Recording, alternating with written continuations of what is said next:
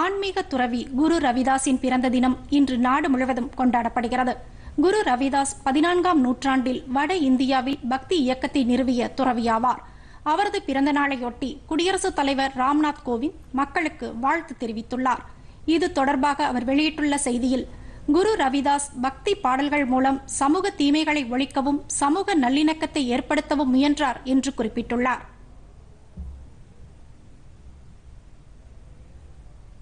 ஞானமிக்க ஆன்மீகவாதியாகவும் பெரும் சமூக சீர்திருத்தவாதியாகவும் திகழ்ந்த குரு ரவிதாஸ் கடின உழைப்பு விடாமுயற்சி சகிப்புத்தன்மை ஆகியவற்றை எப்போதும் பின்பற்றுமாறு ஊக்குவித்தார் என்று கூறியுள்ளார்.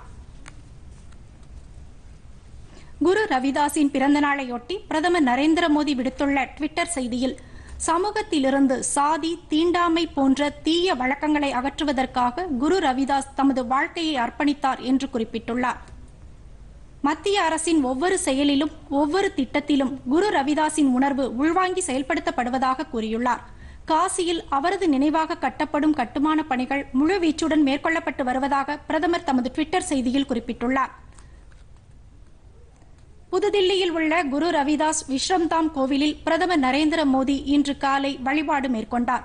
புதுதில்லியின் கரோல்பாக் அருகில் உள்ள கோவிலுக்கு சென்ற பிரதமர் அங்குள்ள குரு ரவிதாஸ் சிலைக்கு ஆரத்தி எடுத்து வழிபட்டார். கோவில் அதிகாரிகள் அவருக்கு குரு ரவிதாஸ் சிலையை நினைவு பரிசாக வழங்கினர்.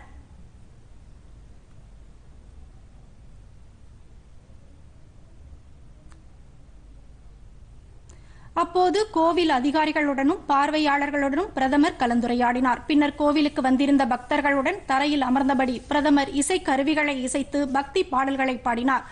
மத்திய உள்துறை அமைச்சர் அமித்ஷா உள்ளிட்ட பலரும் குரு ரவிதாஸின் பிறந்தநாளையொட்டி அவரை நினைவு கூர்ந்துள்ளனர்.